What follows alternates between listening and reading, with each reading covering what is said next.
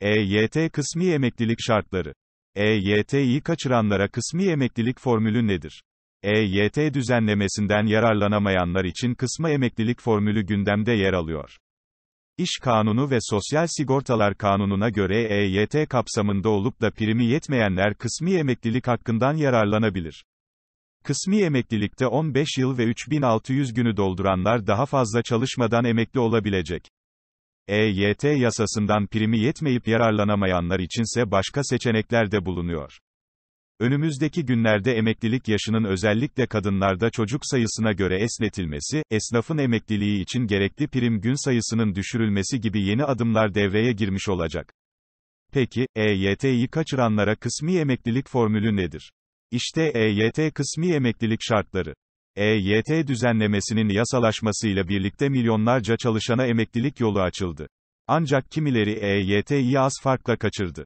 Emeklilikte yaşa takılanlar EYT düzenlemesini az farkla kaçıranlara kısma emeklilik formülü geliyor.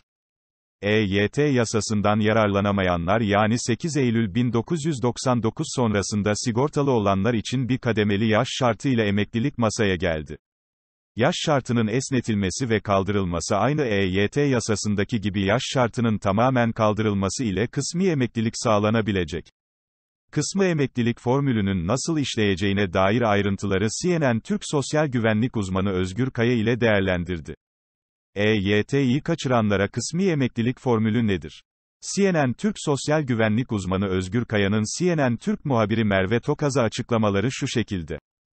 Kısmi emeklilik dediğimiz 15 yıllık sigortalılık süresini ve 3600 prim gün sayısını tamamlayanlar 8 Eylül 1999 tarihinde önce kadınlar 50 yaşında, erkekler 55 yaşında emekli olabiliyordu.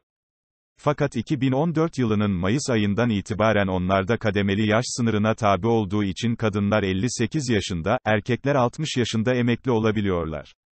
Bu EYT yasası çıktığında bu kesimi ilgilendiren nokta eksik bırakılmıştı. Hükümet bunun ile ilgili bir adım attı ve kısmi emeklilik şartlarını yürürlüğe getirecek. Çalışanımız, emekli adayımız kadınlardaki 58 yaş sınırı 50'ye, erkeklerdeki 60 yaş sınırı 55'e düşürüldüğü takdirde 3600 prim gün sayısını da tamamlamışsa emekli olabilecek. İşe giriş tarihi EYT'yi sağlamasına rağmen EYT'den yararlanamayan vatandaşlar ne yapacak? Bu noktada iki noktayı ele alıyoruz.